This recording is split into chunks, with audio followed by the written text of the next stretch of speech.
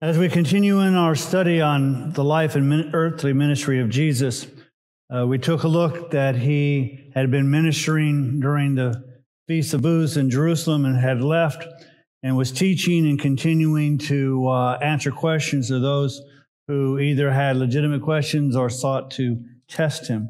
And then we are come now to Luke chapter 10, verse starting with verse 38. And it says, Now as they were traveling along, he entered a village and a woman named Martha welcomed him into her home. We're going to see uh, down the road that uh, this particular family, comprised of Martha and Mary and Lazarus, who are all siblings, become very close to Jesus. Uh, but this is our first introduction to this family. And so Martha, one of the siblings, uh, welcomes Jesus into her home. And verse 39 so she had a sister called Mary who was seated at the Lord's feet, listening to his word. Now, Mary had decided that she was going to, in essence, take the role of a disciple. She was going to learn at Jesus' feet. That's oftentimes what disciples would do. And so she was doing more than just interested in the conversation. She was sitting at his feet, meaning that he's her teacher, he's her rabbi, and she's learning from him. Um, and so she's listening to his word. But Martha was distracted with all her preparations. And she came up to him and said, Lord, do you not care that my sister has left me to do all the serving alone? Then tell her to help me. Now, this is so much like women, and I know I'm going to sound really chauvinistic and, and all that. But at least as far as my wife is concerned, when she's involved in preparations, she wants to get it done now. She'll always say, should we do something now or later? And I'm always saying later. And she's going, no, I want to do it now. And I went, well, why'd you ask me? And so she's very concerned with the preparations to make sure that everybody is going to have a seat. Everybody's going to have more than enough food and whatever. And so Martha is distracted. She's not paying attention to Jesus' teaching. And it's not that it's wrong in the sense of she's invited him as a guest. It's very much Middle Eastern culture as well as even in the West is that when you invite someone into your home, you're going to want them to feel welcome. And so she's going to want to make sure that he's provided for. And, and so with all these necessary preparations, it's like, well, my sister's just sitting there and she asked Jesus a question. Don't you care? My sister's not helping me. Now notice she doesn't even wait for a response. She doesn't say, well, do you or don't you? She's assuming that he does. Because immediately she says, well, then tell her to help me. So the option is, Jesus, since you care that I'm doing this alone, tell Mary to help me. Jesus has an interesting response. But the Lord answered and said to her, Martha, Martha. Now, notice he says her name twice. Now, I don't know what her middle name is or was, and I don't even know if she had a middle name. In, in our culture, if, if someone were to say Joseph Gary, then I know I'm in trouble because they use the middle name. But when you use the first name twice, it's usually not a rebuke. It's, okay, I gotta, I gotta explain this to you. So, Martha, Martha, you are worried and bothered about so many things. And notice he didn't say, and they're not important. He just says, you're just worried and bothered by them. So many things. But only one thing is necessary. He didn't say only one thing is important. He didn't say only one thing is the big idea. He said there is only one thing necessary. For Mary has chosen the good part, which shall not be taken away from her. So you see, Mary has decided that she's going to want to listen to the teachings of Jesus. And hopefully, by listening to the teachings of Jesus, since she's sitting at his feet, it's the type of thing that she's going to do the teachings of Jesus. And Jesus is saying, that's what's necessary. Food preparation is important. Eating's important. The various ministries that people have are important. Jesus isn't taking away the importance of what Martha is doing. He's simply saying, Mary has one thing she's doing, which is necessary. You have something that's doing that he's not discounting as unimportant, but he's not going to say, Mary has to stop what is necessary to do something that may or may not be important. And so many times in our lives, we get so worried and anxious and try to do things and become busy that we don't do what is necessary. We wonder where God is, and yet we haven't bothered to sit at his feet. We wonder what his teachings are, but we haven't stopped to work and listen at his words. Instead, we're so busy. And oftentimes, various ministers and pastors and worship leaders and Sunday school teachers and all those who are involved in various ministries can be so important and so involved and worried about their ministry that they forget what is necessary. You see, a well cannot give water unless it has water. A teacher or a pastor or a preacher cannot give that which he does not have. You must first sit at the feet of Jesus. That is what's necessary. And again, I want to say the things that you're concerned about are not necessarily unimportant. But Martha made the mistake of saying, What I'm doing is equally as important as what Mary is doing, maybe even less so. So Mary should help me, rather than saying, Maybe dinner's going to be five minutes late. And we continue on in Luke chapter 11, which is interesting because the title of the, today's sermon is That Which is Necessary and Prayer. And oftentimes, to find out what is necessary, we need to use prayer. And so it happened that while Jesus was praying in a certain place, after he had finished, one of, one of his disciples said to him, Lord, teach us to pray just as John also taught his disciples to pray. Now, one of the things that we see is that one of the reasons the disciples asked Jesus to teach them is that they saw Jesus praying. One of the best ways to get people, especially in your family, to pray is to be an example of a prayer warrior, one who prays. Now, unfortunately, at least his disciples had enough sense to say, Lord, teach us to pray. And they had an example, one of Jesus teaching, but they also said, well, John taught his disciples to pray. And apparently, knowing Jesus as the Son of God, knowing that Jesus healed the sick, knowing that Jesus raised the dead, knowing that Jesus healed the blind and the deaf and the lame and cast out demons, his prayer life was probably pretty effective. So if you want to learn to pray, he's an excellent person to learn to pray. But unfortunately, most of us don't do that. What we do in learning to pray is we hear somebody pray that we think, oh, that sounds like a really good prayer. And we copy them. And you can also tell what denominational background a person may have just by the way they pray. And I'm not going to pick on anybody particular, but I'm going to. And so one of the things that I hear is in a particular denomination, uh, you will hear them frequently, repeatedly say, Lord Father God. And I'm sure they do that because somebody they heard pray, they were very impressed with and thought that their prayer life must have been pretty great. And so they picked up Lord Father God, and every couple of sentences it was Lord Father God. We, on the other hand, we Baptists, we tend to end our prayers with in the name of Jesus, thinking that by saying in the name of Jesus is like rubbing a, a magic lamp, and God's got to do something because we, after all, we said in the name of Jesus. And so we hear these various prayers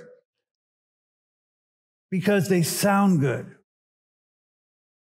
How many times have you copied what somebody prayed because they were effective? Not that they sounded good. That when somebody prayed for somebody to be healed and they were healed, I want to know that prayer. When you see that there's financial difficulty and somebody prays and suddenly they don't have financial difficulty, I want to know that prayer. I don't care how they prayed. I want to know, was it effective? And so these disciples at least have gone to the right person. And you notice they didn't say, God, look, Jesus, can we copy the way you pray? Because let's face it, they can't copy the way Jesus prays because he and the Father are one. So they said, Lord, teach us to pray. And so Jesus is going to. However, he's going to teach them in a way that, quite frankly, is surprising. Now, we have grown accustomed to it because um, oftentimes we'll recite what's called the Lord's Prayer or the Disciples' Prayer, or various other denominations call it various other things. And we'll recite it. And um, let's face it, there are times when we recite it, there is power in that, especially when we as a group pray it together. But Jesus is going to, in essence, give them an outline how to pray. He's not going to say, every time you pray, repeat these words. He's going to say, here is an outline. These are the things that you should pray, and this is how to pray. And so he says, so he said to them, when you pray, say, Father, hallowed be your name.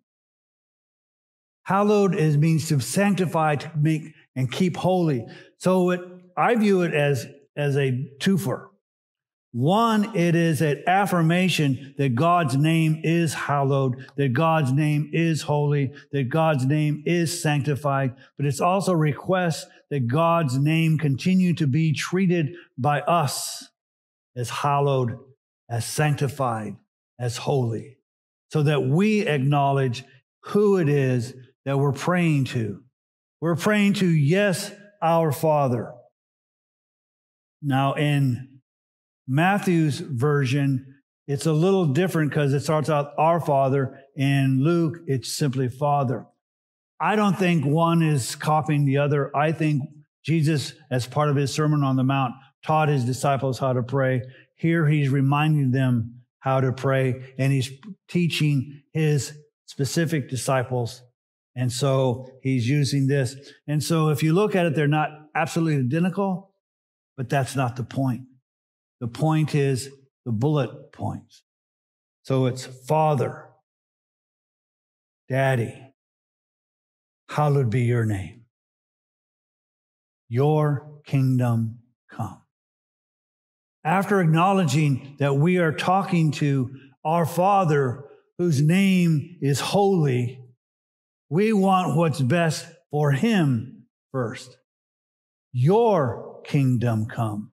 As Jesus has said, seek first the kingdom of God and his righteousness. Then everything else is going to be added to you. So in Jesus' taught of prayer, he's saying, do in prayer what I'm teaching you to do in life. Seek first the kingdom of God. So the very first request, other than maybe God continue to make your name holy, is that your kingdom come. Then he says, Give us each day our daily bread. I wish he didn't teach this. I would rather he had taught, Lord, give us this day a whole year's worth. Because then I know I'm, I'm provided for all year.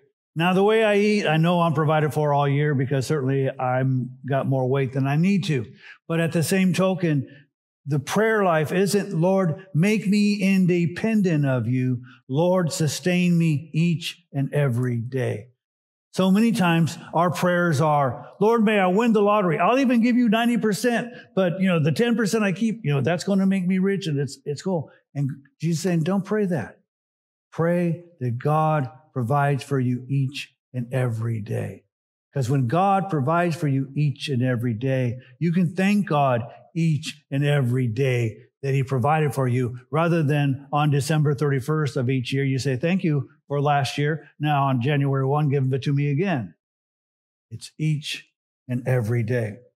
The other thing I notice is that I was told, and I believe it true, that when someone calls you on the phone, the reason that they called you is not the first thing they say. Usually not the second thing they say. It's usually the third thing that they say. So, for instance, somebody will call you and they say, "How you doing?" They don't care. It's just polite. How you doing?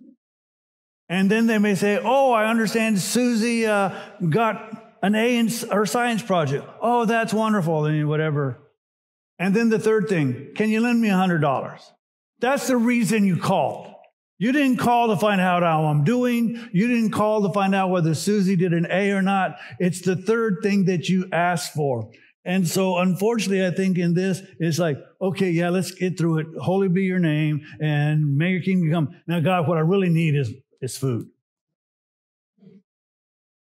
And then, so after the prayer, the bullet point is God provide for us each and every day.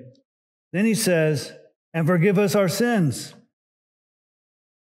which is a good thing. That's a great request because we're sinners saved by grace. And what people don't understand who aren't believers, they think, oh, you Christians think you're perfect. No, no, we understand we are far from perfect. As a matter of fact, the closer we seem to get to God, the further away we are acknowledge that we're from God because we see the things that we used to think were no big deal all of a sudden become a very big deal. And so it's God, Father, forgive us our sins. But nobody likes to repeat the next phrase. For we ourselves also forgive everyone who is indebted to us. Now, notice he said, As you forgive me, I'll forgive them. No, it's I've forgiven them, so forgive me. And it seems the hardest thing for people to do and his disciples is to forgive people, even though you've been forgiven. We like to hold on. Well, they harmed me. They hurt me. They did all sorts of mean things to me. Tell that to Jesus. Your comparison of what they did to you ain't nothing compared to what they did to him. Quite frankly, ain't in comparison to what you've done to him. And so the statement is forgive us just like we've forgiven everyone else who's indebted to us. So it's acknowledgement in our prayer. And that's why Jesus will teach at other times when he says, when you go to make an offering and you realize you have something against a brother, leave the offering there and go fix it. Because your relationship to your brother is important. Because as we've learned a few uh, messages ago, you can't say you love God and hate your brother. You can't say you have a close relationship to God, that God and me are like this if your brother and you are like that. And so Jesus is saying, when you pray, ask for forgiveness, but also as you're asking forgiveness, understand that you've already forgiven those who've hurt you. And then he says something that's really, really important. And lead us not into temptation. Well, I know a lot about temptation because I can resist anything and everything except temptation. So I'm a personal expert on temptation. And I have found out that 99.9999% of the time, God never led me into temptation. I led myself. And so, an example that I give, and I will give it again, as you know, one of my uh, comparisons to sin is broccoli and chocolate. Broccoli has no appeal to me. I probably should, instead of saying broccoli, I probably should say Brussels sprouts. And the reason why I probably should say Brussels sprouts is that when I've gone to the store and all the store has been decimated by people hoarding food and there's all, almost nothing on the shelves, there's frozen uh, Brussels sprouts like you wouldn't believe. I even told the manager, I go, you know, maybe you ought to learn something. That in the desperate times when people are buying absolutely everything, there's all kinds of Brussels sprouts on the shelf. Maybe you've bought too much. And so that doesn't tempt me. Chocolate does. I'm not so tempted by dark chocolate, but it'll do it if it.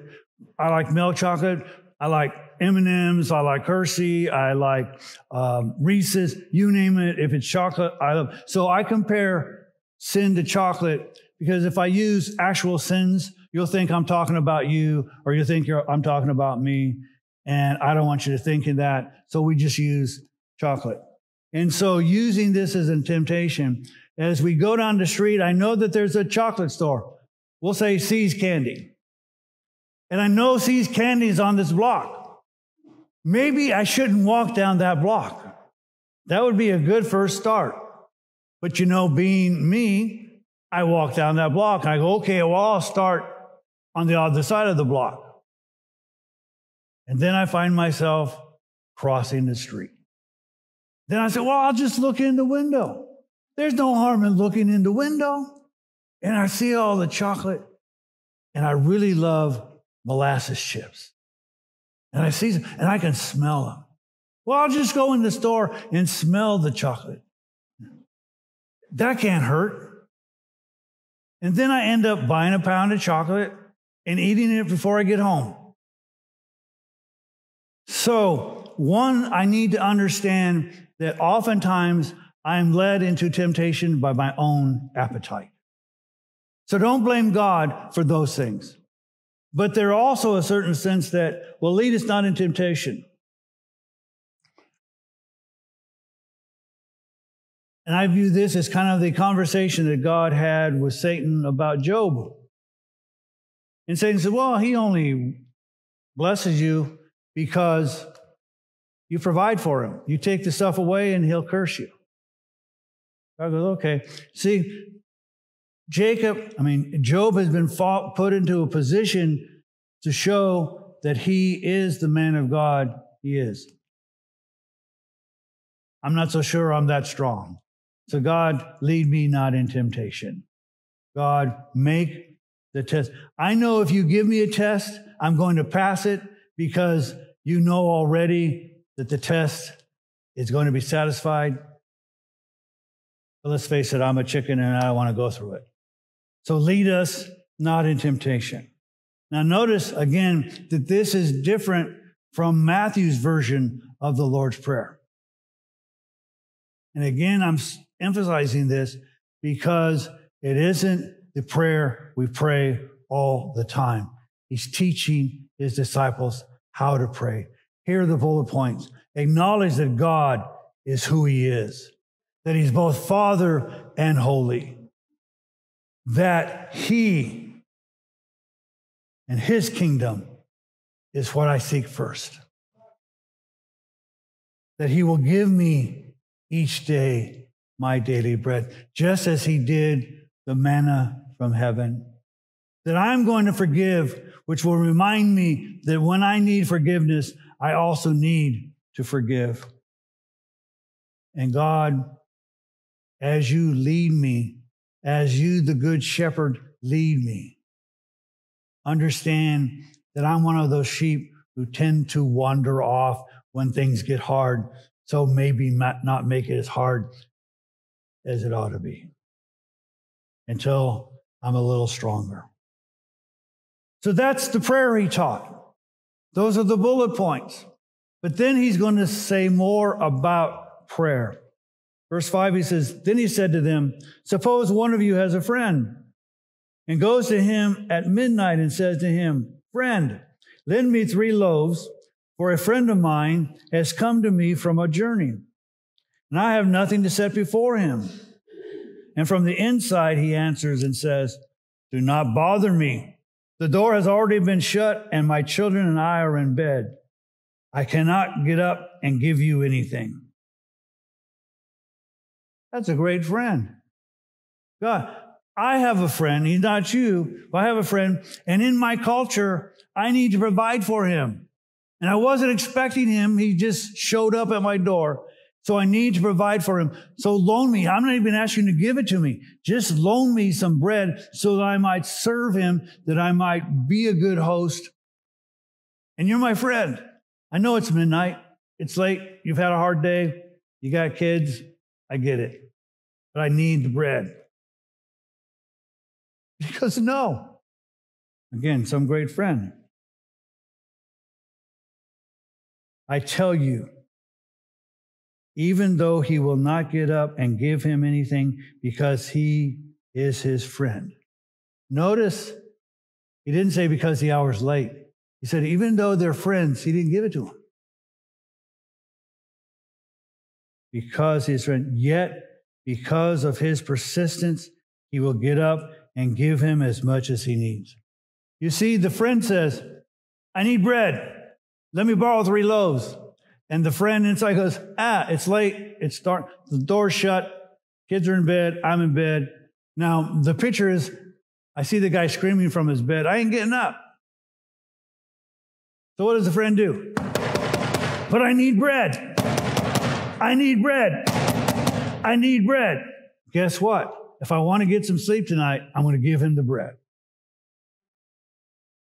It's going to be less of a bother to get up into the cold of the night, find the three loaves of bread, unlock the door, make sure my kids don't wake up, give them the bread, and say, Get the heck out of here, shut the door, and go back to bed. Than it is to keep hearing the rap on the door, get up and give me some bread. So, I say to you, so Jesus has given us a little tidbit of an example, almost like a a parable. So I say to you, ask and it will be given to you. Seek and you will find. Knock and it will be open to you. You see, Jesus says it's not necessarily the words that you use, but the persistence in the prayer. I tell people frequently, you cannot care more than the people you're trying to do whatever you're trying to do. And when it seems that you care more than the people who are trying, and so God in essence saying, how much do you care? Is this really a burden to you? It's so much a burden to you that you pray, Lord, grant this. And then you go away, then maybe it wasn't that important. But if you say, Lord, grant this, and he didn't do it right away, Lord, grant this, Lord, grant this, it's teaching you to be, and Jesus saying, be persistent in prayer. I think also that there is a, another reason that we don't necessarily see in this passage. Because there's something I've been praying for for quite a while, and God hasn't done it yet. Now, the answer could be He just doesn't want to answer my prayer. I doubt that. Because what I'm praying for, I think it's a really good reason, and it's not to be wealthy, it's the thing I'm praying for. But I'm beginning to understand that he's not necessarily wanting that situation to change, but to change me. And by being persistent in prayer, I discover the real problem is not that, but me. And if I only give it a passing glance of concern, he doesn't teach me what I need to know. For everyone who asks receives, and he who seeks finds, to him knocks, it will be opened. Now, lots of people love to take this out of context because they think that you can ask for anything and God will give it to you because he's, after all, the great genie. If you say in Jesus' name or all the other things, that God's got to do it. Because after all, it says if you ask, if you seek, if you knock, it's going to be done to you. But notice how he follows it up. Now, suppose one of you fathers is asked by his son for a fish. Will he not give him a snake instead of a fish? Will he? He's saying, okay, if your son asks for something, a fish, something to eat, You're not going to give him something that will harm him, will you? Or if he asks for an egg, will he not give him a scorpion? Will he? Now, if my wife saw a scorpion, she'd panic. I mean, you know. And so scorpions are bad dudes and whatever. If you then, being evil, know how to give good gifts to your children, how much more will your heavenly Father give the Holy Spirit to those who ask him? Two things here he's teaching. Your Father, whom you're asking, who you're asking, who you're knocking, who you're seeking, gives you good things. The thing that you may be asking for may not be good for you. I won't use any particular name, but there are a number of people who have in their childhood life become very famous either through singing or the movies or whatever. And because they are given this instant fame and wealth, they seem to have lives that spin out of control. Maybe having that part in the movie, maybe singing that particular song was not good for them and their lives. God knows what is good for you. And maybe what you're asking for is not good for you, though you may think it's good. But also notice he said, if you're being evil, know how to give good gifts. Notice what he says, will not the Heavenly Father give you the Holy Spirit to those who ask him? Because what's the first thing we're supposed to ask for? For your kingdom to come. How does your kingdom come? By the Holy Spirit being placed in me and by the Holy Spirit empowering me and by this Holy Spirit testifying about Jesus to others. That brings about. And so if I am truly seeking his kingdom first, then his answer first is his kingdom. But all too often, we want to concentrate on the temporary. God, give me this. God, give me that. God, give me fame. God, give me wealth. God, give me friends. God, give me whatever. None of those things will last.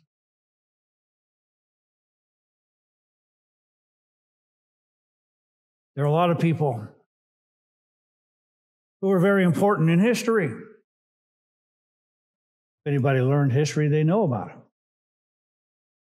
But even those famous people tend to be forgotten. The fame is fleeting. Life is fleeting. Wealth is fleeting. The Holy Spirit is eternal. Ask, seek, knock for that which lasts an eternity. So you want to know how Jesus prayed?